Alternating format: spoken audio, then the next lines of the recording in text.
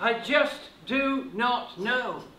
I'd like to tell you that I do, that everything is clear. I know the reason why we're here. I know what life is for. No need to question anymore. I know the answers, but of course I don't.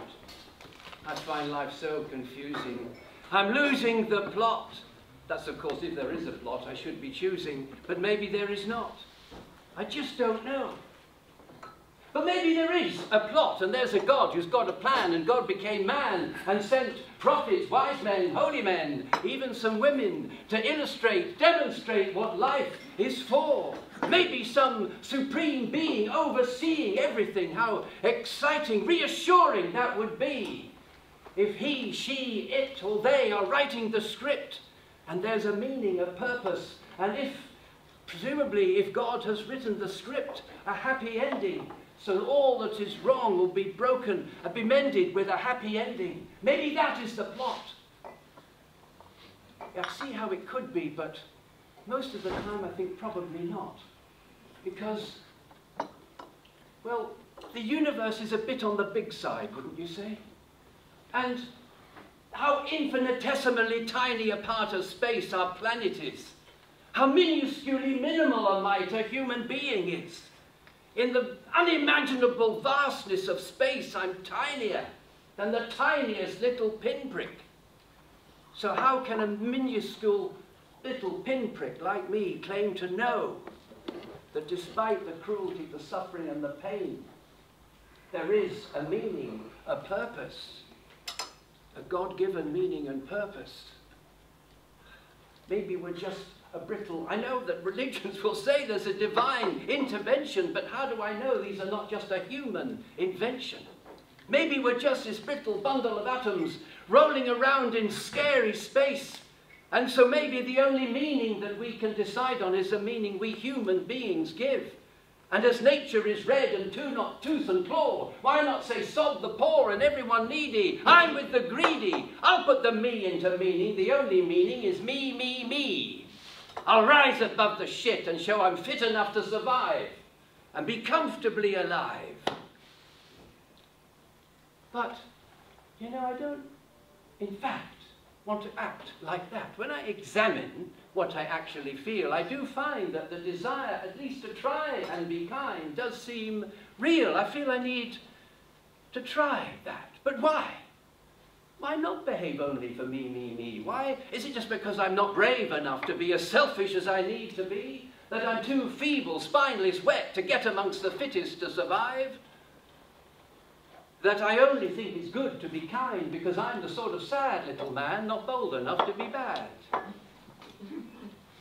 And let's face it, to try and be kind and go for this caring, sharing malarkey is not exactly macho daring, is it? But then, if everybody feels free to be selfishly nasty, the outlook's pretty ghastly. If we don't at least try and treat each other well, then we have a chance of creating some kind of hell for ourselves. So maybe religions have got it right when they say that the best thing in life to try and do is to treat others as you would treat them, like them to treat you. Maybe that's a good place to start. After, With so many different religious political creeds, we absolutely need to find at least something that we're agreed on. Treat others as you would like them to treat you. If we start from here, maybe we're not that far apart. So whatever we disagree on, maybe we should agree that this principle is invincible. I know that for many religious people that will not be enough. They will say it's not just what you do that matters, it's what you believe.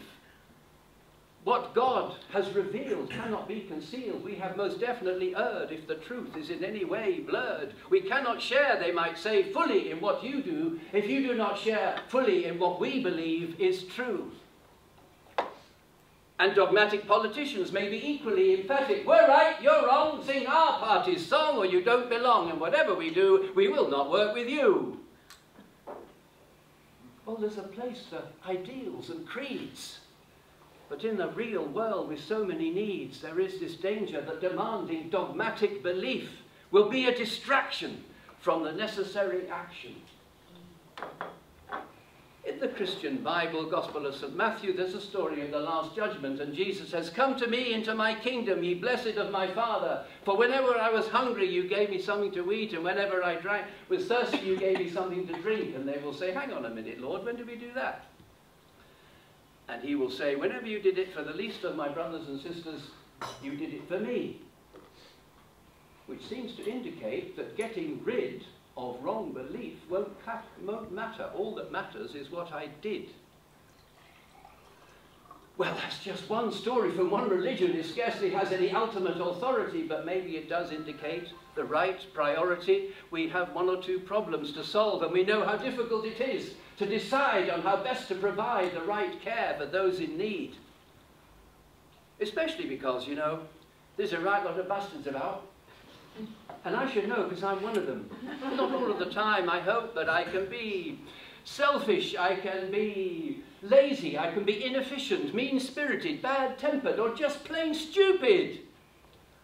And so the good that I mean to do, well, I just don't quite do it. As a man from Tarsus called Paul once said, the good that I mean to do, I do not do which I suppose is a way of indicating our human predicament, that others, we just don't, even though we try for what is good, we don't manage to bring it off.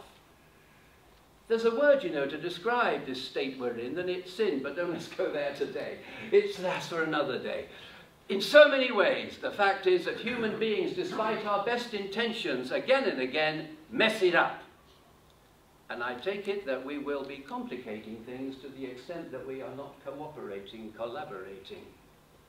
Which I take it is the main lesson from COVID. Not just that to meet the needs of the people in Leeds, churches, third sector organisations, the council have found that they can work together, can take great satisfaction from the action that they have done together, but that this work does not stop.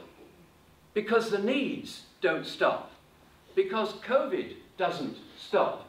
It may be called another name in the future, but it seems where we are now that some kind of pandemic may be permanently endemic. So many problems in our city, in our country, in our world. So many problems that needed solutions by at the very latest, yesterday. And who knows what new problems, to name but one example, if bills for heating and lighting cannot be paid, the increase in dismay. How will people cope? Any talk of hope may seem a delusion. How to meet this inevitable increase of despair will need a rich profusion of coordinated care. Treat others as you would like them to treat you. The right respect for all human beings, the right attention to everybody's needs, which might, brief theological aside, which might be how to understand the word love in the command love your neighbour as yourself, which demands, the word agape in Greek demands not, I think, a feeling, but an action.